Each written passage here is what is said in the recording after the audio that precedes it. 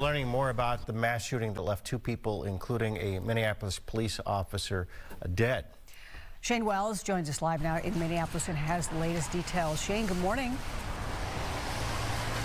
Good morning. Uh, Officer Jamal Mitchell's family still hasn't finalized plans to lay him to rest, but his body is now at the funeral home in Minneapolis after yesterday's procession.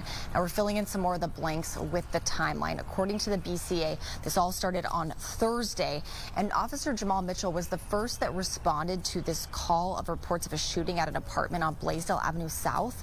He said he saw two or he saw two injured people on the street. And investigators say when he approached 35-year-old Mustafa Mohamed and asked if he needed help, Mohamed pulled out a handgun and shot Mitchell.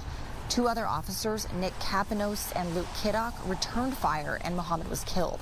Mitchell, a beloved father who was engaged to be married, is described as the kind of officer the community needed.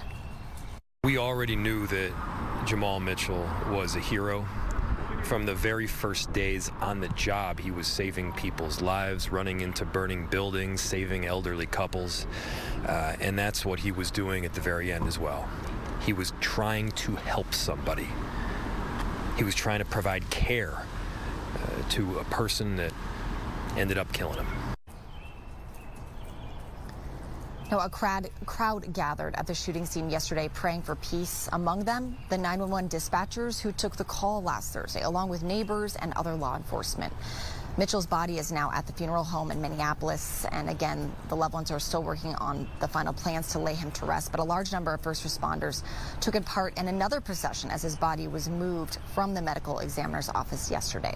Now, support continues to pour in for Officer Mitchell. In fact, we're going to be teaming up here at Fox 9 with K102 on Thursday morning. Brooklyn Park Home Depot is the place where they will have kind of a drive through, essentially, where you can drop off any donations, gift cards, letters of support, whatever it is that you feel uh, as you want to come together as a community to celebrate this officer's life. With that, we'll send it back to you. All right. All right. Shayne, thank you. Thank you, Shayne. Shayne Wells reporting live. And we'll have more on the story, including ways that uh, you can help support Officer Mitchell's family right there on our website at fox9.com.